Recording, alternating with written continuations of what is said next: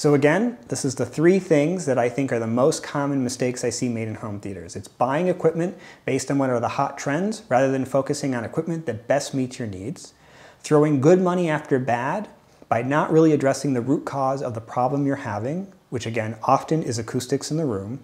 And then too many channels that compromises the quality of the speakers.